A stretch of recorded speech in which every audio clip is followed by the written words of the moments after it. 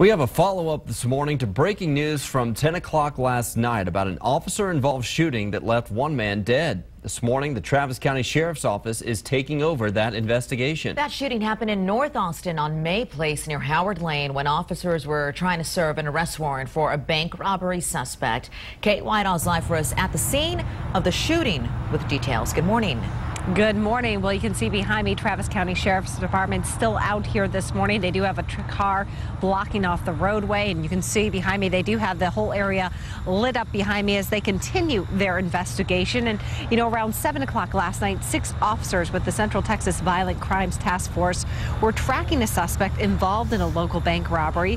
When the three FBI agents, two APD officers, and one Round Rock officer spotted the suspect behind the wheel of a Suburban, they followed him to his home home.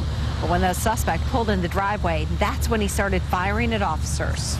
The task force officer stopped behind the suspect vehicle, uh, exited, identi identified themselves as federal officers, FBI, uh, at which time the suspect suddenly jumped out from the driver's door and started sh firing shots towards the officer. Now, no officers were hit, but the suspect was wounded and taken to St. David's Medical Center in Round Rock where he died about an hour later. So far this morning, no word on his name or what bank robbery he was involved in.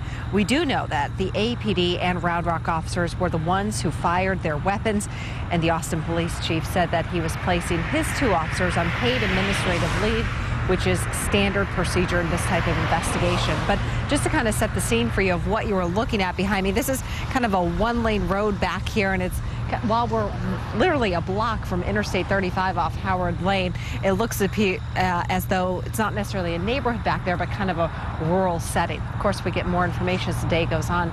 We'll keep you posted. We're live in North Austin. Kate Whitehall, KXAN News. All right, Kate, thank you. All warrant services, by the way, do have some element of risk because officers don't know what they're up against or what they may be up against. In Travis County, there are constables in five precincts executing civil and criminal warrants. And prior to serving a warrant, those deputies do a surveillance run before they move in, and they rely on criminal background checks to help them know um, what they're up against and to make a better assessment of a potential threat.